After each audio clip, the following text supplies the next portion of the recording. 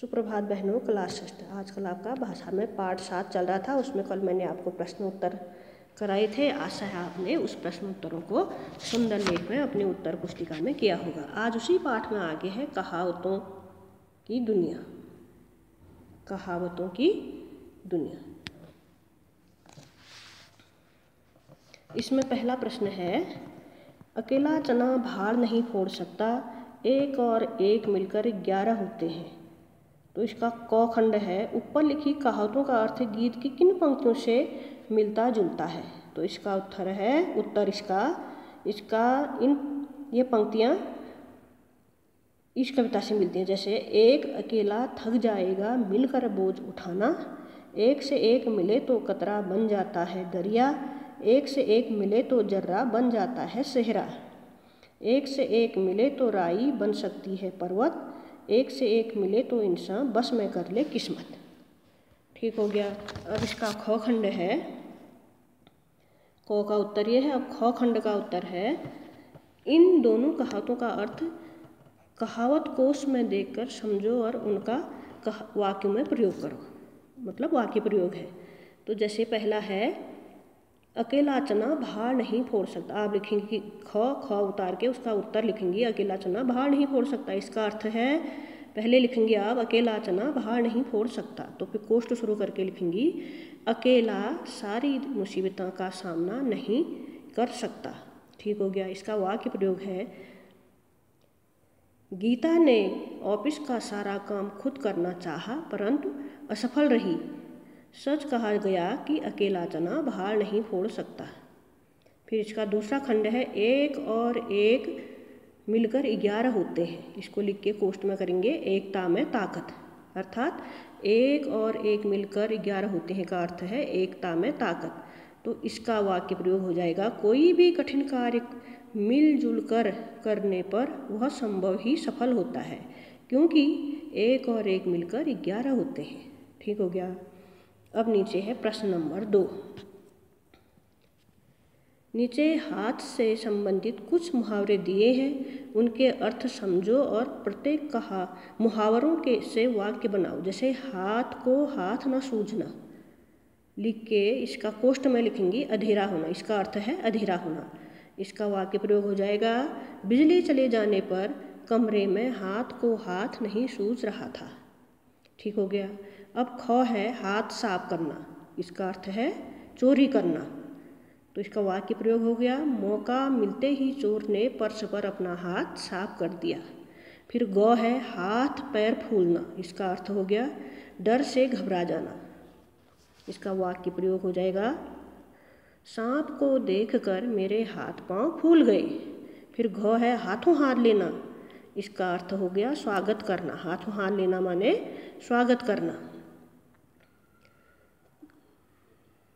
तो इसका वाक्य प्रयोग हो जाएगा, अपने घर में कोई भी मेहमान आने पर हम उसे हाथों हाथ लेते हैं। फिर है हाथ लगाना। हाथ लगाना माने अचानक हाथ लगना। लगाना नहीं, हाथ लगना माने अचानक कुछ मिल जाना। तो इसका वाक्य प्रयोग हो जाएगा, रास्ते में गीत, सीता को सोने की चेन हाथ लग गई। अब प्रश्न नंबर इसी में आगे है भाषा की बात। भाषा की बात में है प्रश्न, हाथ और हस्त एक ही शब्द के दो रूप हैं। हाथ को हाथ भी कहते हैं और हस्त भी कहते हैं। नीचे दिए गए शब्दों में हस्त और हाथ छिपे हैं। शब्दों को पढ़कर बताओ और उनमें हाथों का उसमें क्या कार्य है? जैसे पहला शब्द है हथकड़ी। हथकड़ी हथकड़ी का अर्थ है तो उत्तर लिखेंगी हथकड़ी। हथकड़ी में डैश करके आप लिखेंगी हाथ की कलाई पर पहनी जाती है। हथकड़ी माने हाथ की कलाई पर पहनी जाती है। अगला शब्द है हथौड़ा। हथौड़ा मैं डैश करके लिखेंगे। एक ऐसा लोहे का औज़ार जिसे हाथ से पकड़कर चलाया जाता है। फिर है हस्तशिल्प। हस्तशिल्प। फिर है हस्तशिल्प। इसमें डैश करके लिखेंगी। हस्तशिल्प में शिल्पकारी का काम हाथ से ही होता है। फिर है हस्तक्षेप। हस्तक्षेप माने किसी कार्य में दखल न देना। इसमें हस्तक्षेप माने किसी भी कार्य में, इसका अर्थ है किसी कार्य में दखल देना। दखल न देना नहीं है, हस्तक्षेप का अर्थ है किसी कार्य में दखल देना। इसमें हाथ का कोई कार्य नहीं है। ठीक हो गया, निहत्था। निहत्था का अर्थ है जिसके हाथ में कोई हथियार ना हो, फिर है हथकंडा। हथकंडा माने किसी भी कार्य को पूरा करने के लिए अनुचित तरीका अपनाने को कहा जाता है। इसमें भी हाथ का कोई कार्य नहीं है। हस्तक्ष हस्ताक्षर। हस्ताक्षर का अर्थ है अपने हाथ से अपना नाम लिखना, फिर है हथकरघा। इसका अर्थ है हाथों से किए जाने वाले लघु एवं घरेलू उद्योग धंधे। ठीक हो गया। अब उसी में अगला प्रश्न है नीचे। इन